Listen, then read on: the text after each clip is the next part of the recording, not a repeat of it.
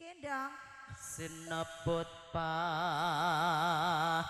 lawan putri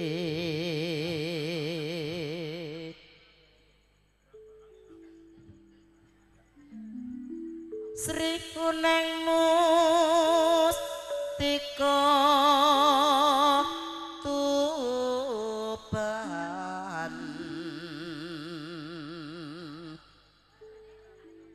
Wah wah Piye, Mas? Eva meduk Ngapa? cah cilik gerok-gerok Lah, masa mergo aku to?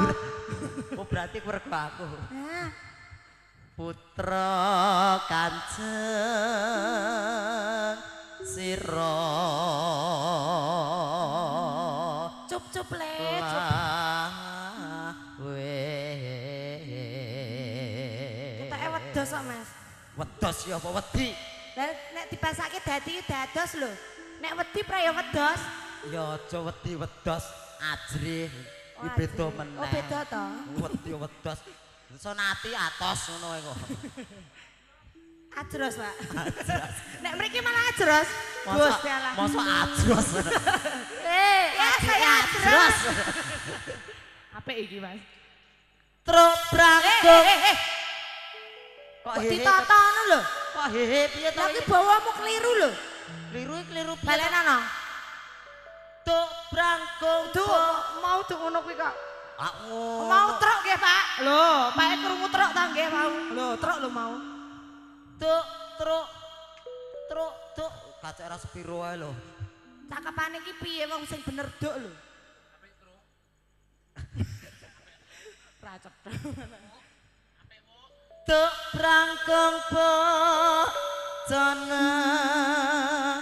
kara bebela wirat moyo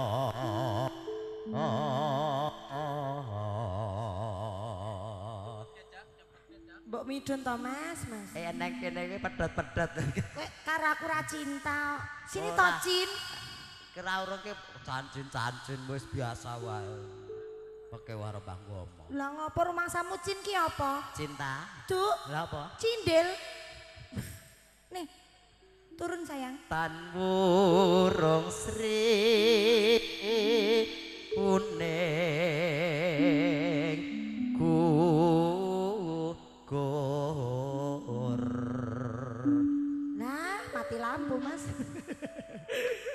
dadi Malah kae.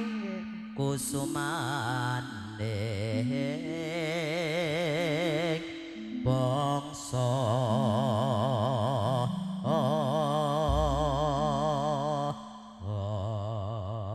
Nggih, dawa lagam Sri Uning ya, Mas. Sri Huning monggo kaaturaken Garap tayub. ya terserah lah manut kanca-kanca Oh, ngoten. monggo serengan sang guryang wuyu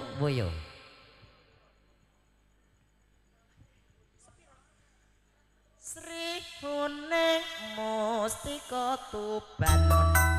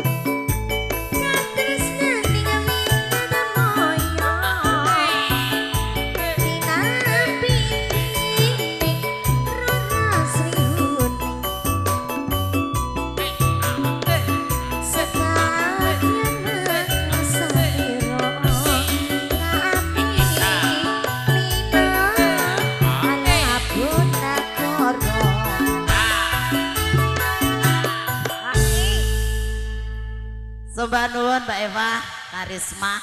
Sri Huneng sampun kateraken. Nah, balimu, balimu balik nah.